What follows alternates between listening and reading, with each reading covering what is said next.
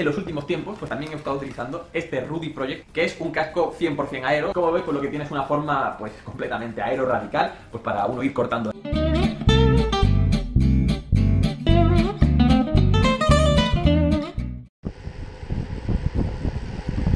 Bueno, muy buenas a todos chicos, bienvenidos una vez más aquí a Diario de un Campista y chicos, en esta ocasión vamos a comenzar con los tops y listados de bicicletas de la temporada 2018. Como estos vídeos se van a basar en los artículos que ya he comenzado a publicar por nuestro blog, sí que voy a dejar en la zona de la descripción un enlace para que puedas dirigirte al artículo correspondiente, ya que este vídeo se basa en parte en nuestro artículo y además en el artículo muestro 30 alternativas en total y no 5. Pero sin más dilación vamos a mencionar a continuación a 5 bicis de montaña cuyos precios se encuentran por debajo de 1000 euros y que a mí me han parecido particularmente interesantes. Así que vamos a comenzar.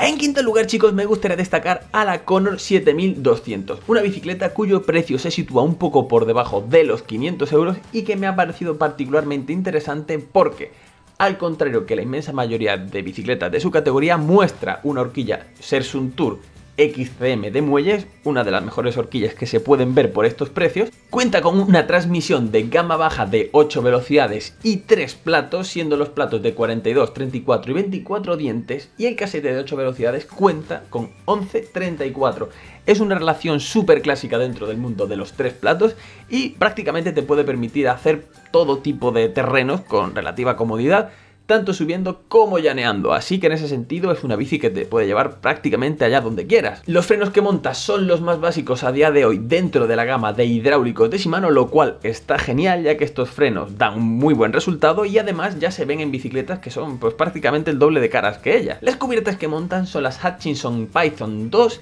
y a pesar de que sean pues bastante básicas la verdad, también son considerablemente rodadoras y muestran un buen agarre tanto para subidas como luego para curvas, por lo que es un aspecto que se tiene que tener en cuenta. Por si fuera poco, esta Conor está disponible en cuatro tallas diferentes, dos opciones de color y la línea estética que mantiene pues es bastante bonita la verdad. Y además Conor es una marca española y eso para nosotros siempre le da un punto especial.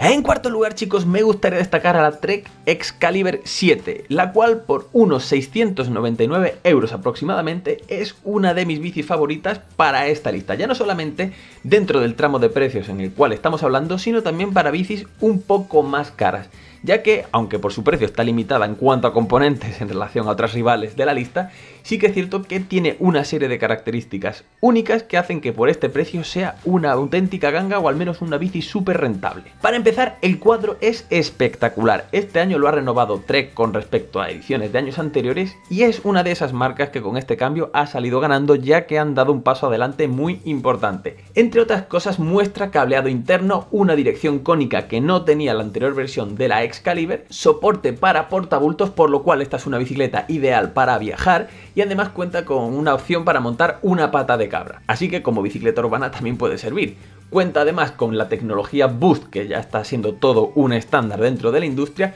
y la geometría que tiene pues guarda una relación fantástica entre comodidad y competitividad, de manera que una persona que quiera comodidad la puede utilizar, pero aquellas personas que también quieran introducirse en el mundo de la competición en XT también le puede servir. Su horquilla, aunque pertenece a una gama baja, es de aire y forma parte pues, de una familia de productos que dan muy buenos resultados. En este caso estaríamos hablando de la RockShox 30 Silver. La transmisión que tiene ya por estos precios empieza a ser de gama baja, aunque no por ello ha de ser subestimada, ya que cuenta con un sistema de 9 velocidades y un sistema biplato, y la relación de marchas que tiene es exactamente la misma o prácticamente la misma que mi Scott Spark 930. El casete trasero que tiene eh, muestra una piñonera de 11.36 dientes y los platos son unos 36.22 y os puedo hablar por experiencia personal que esta es una combinación clásica ganadora. Puede eso sí que dentro de las cuestas más radicales te cueste un poco más por cadencia el subirla con comodidad, pero en líneas generales no te debería dejar tirado en ninguna situación. Los frenos que monta pues son también los más básicos dentro de la gama de hidráulicos de Shimano y como dije anteriormente no están nada mal y funcionan bastante bien pues por las bicis de estos precios. Es una bicicleta que está disponible en unas impresionantes 7 tallas, lo cual no es fácil encontrar hoy en día, siendo las dos más pequeñas en 27,5 respecto al tamaño de la llanta y 29 con respecto al resto. Además está disponible en dos opciones de color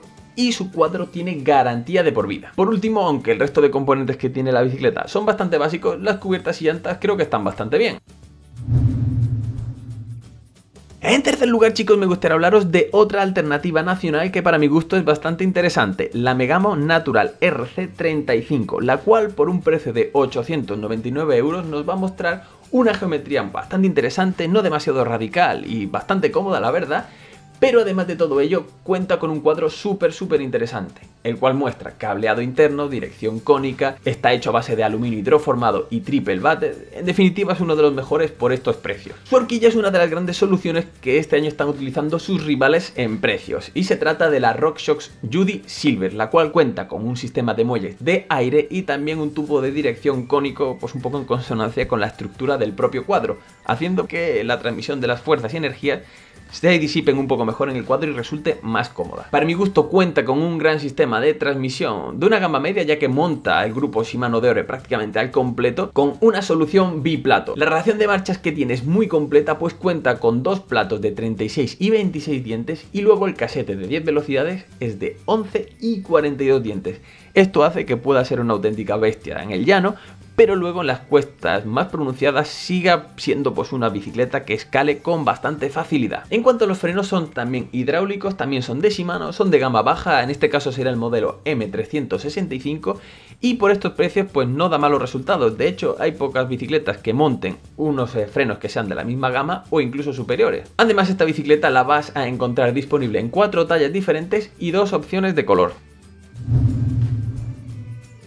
En segundo lugar, chicos, vamos a hablar sobre la bicicleta que este año más me ha gustado dentro de las bicis con sistema de transmisión monoplato por menos de 1000 euros. La Ghost Kato X 4.9 Al. Un nombre bastante largo para una bicicleta que cuesta aproximadamente unos 999 euros. Esta bicicleta me parece súper interesante ya que tiene un cuadro bastante llamativo, con dirección cónica, un sistema de cableado parcialmente interno, aunque en este caso no lo termina de aprovechar del todo gracias a que cuenta con un sistema de transmisión monoplato como dije anteriormente. Este cuadro va a estar disponible en tres tallas distintas y una opción de color que es la que estamos mostrando ahora mismo en el vídeo. Su horquilla es de aire, corre a cargo de la Sersun Tour Raidon de 120 milímetros, lo cual hace que la posición sobre el manillar pues, sea un poco más erguida, un poco más cómoda y también pues permita no solamente intentar hacer circuitos de XC, sino también pues un poco rutear por pistas con más comodidad. La transmisión, como hemos dicho anteriormente, forma parte de un grupo de transmisión monoplato. En este caso estaríamos hablando de una auténtica mezcla de gamas y marcas.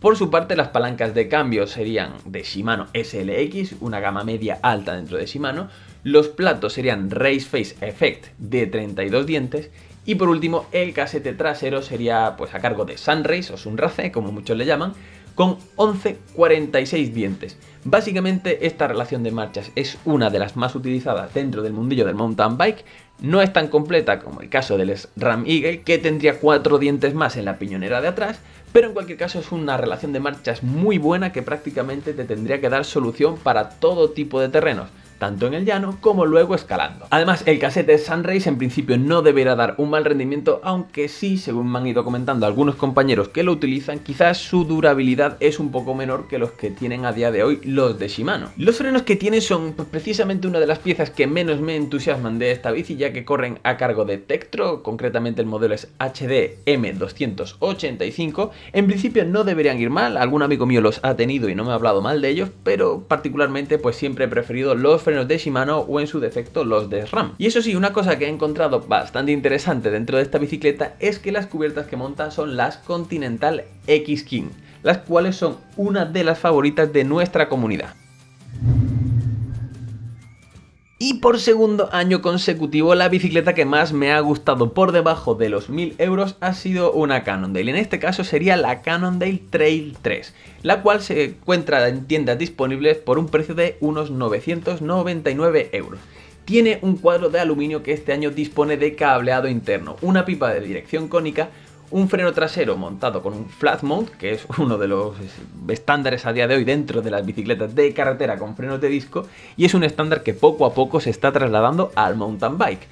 Además también tiene un eje boost el cual ya se ha convertido en toda una tendencia dentro del mundillo del ciclismo de montaña. Para mi gusto este cuadro es uno de los más completos dentro de estas gamas y estos tramos de precios, posiblemente el más completo junto con el Trek que dije antes. Además por si fuera poco y al igual que sucedía en el caso de Trek, esta Canon del Trail 3 tiene el cuadro garantizado de por vida. La de aire está siendo una auténtica clásica dentro de las bicis de estos precios, ya que se trata de la RockShox Judy Silver, también con muelle de aire y un tubo de dirección cónico, al igual que lo que viene siendo en la estructura del cuadro. En cuanto al sistema de transmisión, guarda la misma relación de marchas que en el caso de la Megamo que mencionamos anteriormente, ya que tiene un sistema de transmisión biplato de 36 y 26 dientes, con una piñonera de 11,42 dientes. En este caso, las gamas de las que estaremos hablando serán de unas gamas medias altas, eh, con una mezcla de Sunrace, Shimano SLX y FSA aunque sea una mezcla de diferentes marcas, en principio todas deberían de trabajar bien juntas y deberían dar unos buenos resultados. Al igual que dije con la Megamo, esta relación de marchas resulta ideal tanto para destrozar en el llano como para luego tratar de escalar cualquier tipo de pared por muy dura que se ponga. Los frenos que monta esta bicicleta son prácticamente de los mejores que podrás ver este año por debajo de los 1000 euros, ya que se trata de una especie de gama media-baja bastante interesante dentro del grupo de Shimano